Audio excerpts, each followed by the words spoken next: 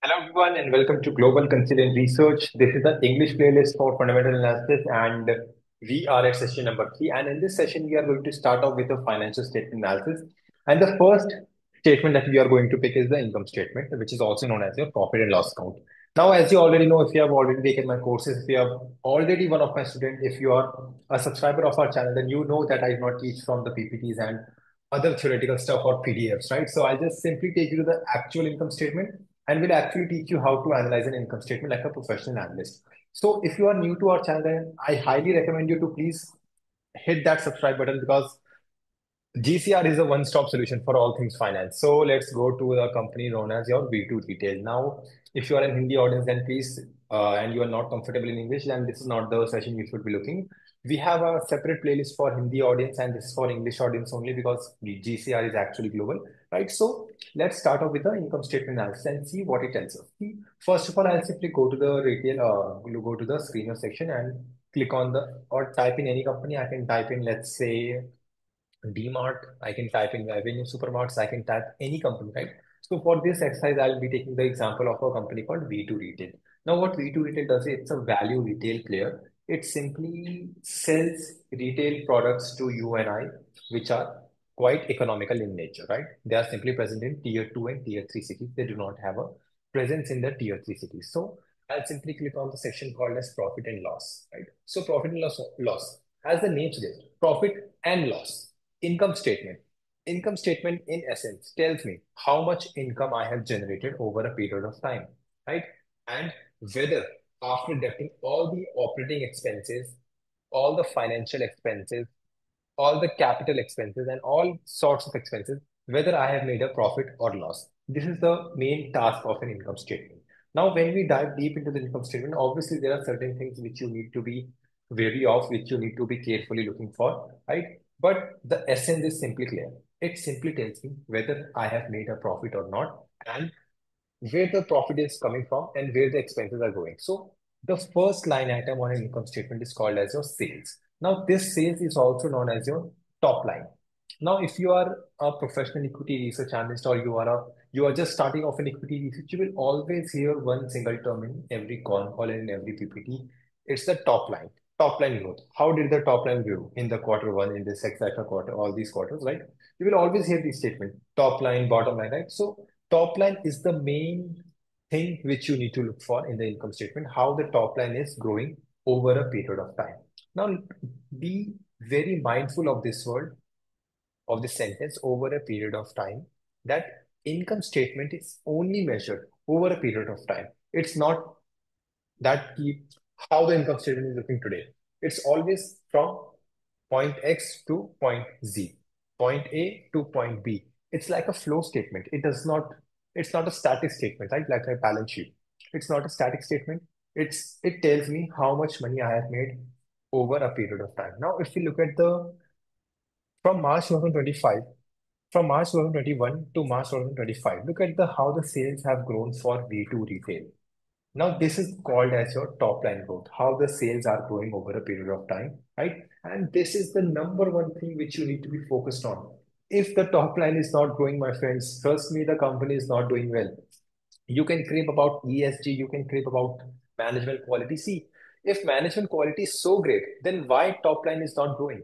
This is the first thing you need to look for in any income statement. I don't care whether you are analyzing a bank, whether you are analyzing a retail player, you are analyzing an IT company. Now look at this. Now we can all see that the top line growth is just phenomenal in the case of V2 retail and it continues to grow, right? Whereas, whereas if I show you another company, right, I'll just show you another company whose top line is almost stagnant in the same sector. It's your Trent Limited. Now look at the quarterly results, right? I'll show you one case study. Look at the quarterly result from the June 2024 to June 2025. Now, from June 2024 to June 2025, over a period of five quarters, look at how the top line has almost flatlined. 4,104, 4,157, 4657, 4217, 4883. Now, this is not something which I want. Now, the pace of growth.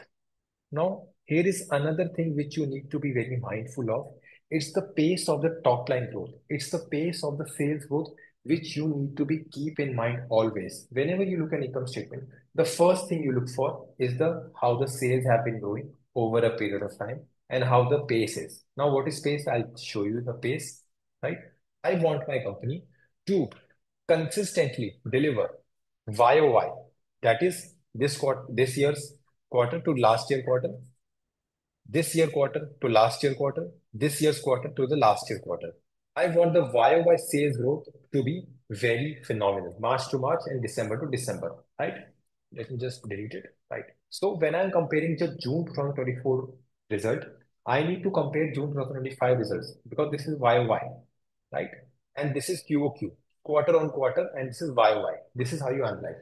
So when I'm talking about the YOY analysis, I want the pace of growth to at least stay the similar path. Or in the best case scenario, I want this pace of growth to be higher than the previous year.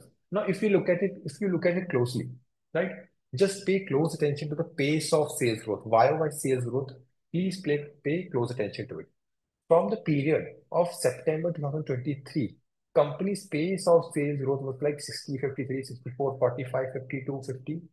And from then on, it reached almost 56%. Then from June 2024, from this quarter, the pace of growth is coming down. This is a concerning thing for any company, right? You want the pace of growth to be consistently stable or at least growing for a small firm. But it also depends on the company, on the industry or company operates in, right? So this is the first thing. Now, when we look at an income statement, right? Whenever we look at the income statement, there is an income and then there are expenses. Now, what are those expenses? Let's see. You have your material cost, employee cost, right? Now, what are material? I'll just show you a different income statement. I'll go to the Tijori Finance, right? I'll simply click on financials and I'll click on profit and loss. It will take me to the profit and loss. Now, look at all the operating expenses that there are in a company, right? How many operating expenses are there? First of all, there is your raw material expense, right? Simply say, it simply means that to produce the goods and services, we need the raw material. Now, let's say if I'm producing clothes, what do I need? I need fabric, right? Right. I need some, first of all, this is the fabric, threads, right? Labels, right? This can be my raw material. If I'm producing, let's say biscuits, biscuits, right? So I want to understand how the raw material prices have been going for the company and to see how this affects the gross margin. Now, when we talk about gross margin ratio analysis, I need to conduct a separate session for that. So please be patient with this course, right? So raw material has been consistently going up for the company because sales are because gross material, oh, sorry, raw material costs are variable. It goes up as the production goes up. Then there is a material cost as a percent. So you can see that the gross margins are close to around 30 to 35% because 65% of the sales goes towards your raw material suppliers. Then we have employee cost, we have power and fuel cost, and all of these combined are your called operating profit. Oh, sorry. All of these combined are called as operating expenses. Here it is, operating expenses, right? And when we deduct operating expenses from sales, we get operating profit. Now, operating profits are simple. Say these are your like all the expenses related to operational side of the business. This is not related to the capital structure. This is not debt financing uh, cost. And this is certainly not your amortization EBITDA, right? Depreciation amortization, this is not, right? These are all the expenses related to the operating side of your business. Operating side of your business, right? So you need to understand there are three kind of expenses. One is your operating expenses, one is your capital expenses, and the last and not the least is your capex, right? Where you are going, right? Financial expenses, right?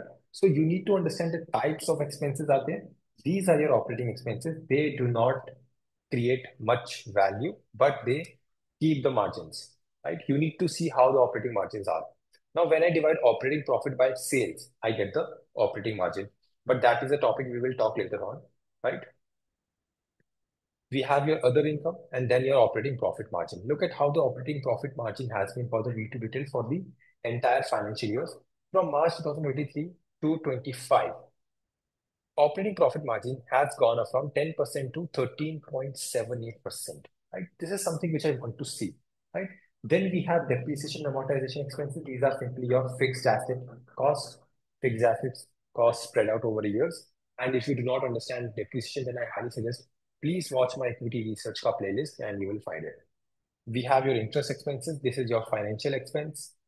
Then comes your profit before tax. When we deduct depreciation and amortized interest from the operating profit, you get profit before tax. But there is one more term which I want to explain, and that is your EBITDA, right? EBITDA simply means earnings before interest, taxes, depreciation, and amortization.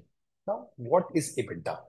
EBITDA is simply a non-GAAP measure, non-generally accepted accounting principle. You won't find this term EBITDA in any of the accounting books around the world. But when it comes to equity research, when it comes to fundamental analysis, we still use the term EBITDA. Why? So that we can compare the profitability and margins across sectors, right? This is something which analysts always do. Now, EBITDA simply means earnings before deducting interest, taxes, depreciation, amortization. It simply means your operational excellence. Higher the EBITDA margin, higher the operational expenses, or sorry, operational excellence, right? How do we calculate the EBITDA from this income statement? Take profit before tax, add interest, add depreciation. You get the EBITDA. Profit before interest, depreciation, amortization, and taxes. This is your EBITDA. Higher the EBITDA margin, higher the company's operational excellence, and easier it is to compare across the firms because we are removing the effect of capital structure, we are removing the effect of taxes, and we are removing the effect of asset heaviness. The higher the EBITDA margin for a company, the better it is, right? But EBITDA margins also depend on the industry of companies. Let's say there are five companies in industry and there is a sixth incumbent, which is a smaller player. Now, all those five largest players play around 40 to 15% EBITDA margins. Now, that sixth company can only aspire to have only 40 to 15% because once that company achieves a certain level of scale, it is highly improbable and implausible to seek a that they can cross the 14 to 15% EBITDA margin. So you need to understand how the industry is structured, what are the target margins, how high the margins can go, and when the margins are peaking. So this is something which you need to be very careful about when understanding the income statement. Then comes your taxes, and when we deduct taxes, we are paying our share to the government. Then comes your net profit. Then comes your net profit. And when we divide the number of share, net profit by number of share, we get the EPS. Now, folks, this is a basic analysis of an income statement, right? This is simply a basic analysis. Now, let me take you towards the raw PDF for income statement. Simply go over here, click on quarters and go to the PDF. You will get the Trent ka PDF. Now, let's simply go to the income statement. Now, look at this. This is a standalone income statement, which means there are no subsidiaries consolidated in this income statement. This is this belongs only to the parent company of Trent, right? So we have 30th June 2025, 30th June 2024. This is your YOY comparison. This is your QOQ comparison. We always compare YOY in most industries, right? Revenue from operation, this and this grown, tick mark. Other income simply means that there are certain other operations which are running around the company and this is your other income. Now, I want every single one of you to understand that other income should not be growing faster than the revenue from operation if the other income growth is faster or getting bigger every single year, then it's a red flag. Expenses, all of these are your, all of the expenses are grouped over here, right? If you are a CFA aspirant, you realize that we uh, group the expenses accordingly, right? By nature or by expense, right? We have purchase of stock in trade. Simply it means company has purchased already made raw material, right? Already made clothes or maybe something else. Changes in inventory. So this is your inventory where the company has used inventory. Employee benefit expenses, operating expenses. So these are your raw material, these two. This is your operating expense. Depreciation expenses are, uh, and this is your fixed asset heaviness. Finance cost is simply your, once again, capital expenses. Occupancy cost, once again, operational expenses and other expenses. So all the types of expenses have been grouped here, right? So you need to understand that every income statement will have a different structure and flow. But most Indian income statements are like this only. They do not separate the expenses according to their nature. They group the expenses, right? Then we have your profit and loss before tax. And how do we calculate the EBITDA? Profit before tax plus interest plus depreciation gives me EBITDA. But you won't find EBITDA in any of these periods. Why? Because EBITDA is simply your non-generally accepted accounting principle, uh, accounting uh, measure, and nobody uses it in the accounting world. But as an analyst, we use it all the time. And companies also say that our EBITDA margin is this much, right? So we have your taxes and then your net profit. And then we have another section called other comprehensive income. Another income called as other comprehensive income. Other comprehensive income are simply those expenses, those income which is not directly related to the company, but which bypasses the income statement and gets added back to the profit after tax. And simply your equity investments, all the equity investment that the company is holding, remeasurement of defined benefit plan, these are these are your pension plans and income tax. So these are certain things which bypasses the income statement and get gets added back to the profit after tax. But this is not an important part of the income statement, right? Next up is your EPS, right? This is your paid up equity share capital, how much the company raised in equity capital, paid up debt capital, other equity none. We have your basic EPS and diluted EPS, right? So basic EPS simply means we are not accounting for the diluted, uh, diluted uh, equity shares in the company. Diluted means we have accounted for the securities which will dilute the EPS. In CFA level 1, we study this, right? So all in all, this is your entire income statement. Now, how do we apply this? The only way to learn an income statement is to read income statement of hundreds of companies, right? My task for you, the task for you I'm giving you today is simply go on Screener and analyze any company you want by simply downloading the raw PDF. And there is another way which you can use is simply your export to Excel tool, which I do not recommend to anyone, right? But once again, if we are in the field of equity research, we still have to open the Excel sooner or later, right? So understand one thing that you can use this statement. You can use the Excel sheet to analyze income statement. I will show you, right? Income statement, you have complete every single thing over there. We have common size analysis as well, right? And in common size analysis, you can simply see the income statements, entire structure, how much each thing as a percent of sales is there, right? So use this Excel sheet only when you have mastered the income statement basics, right?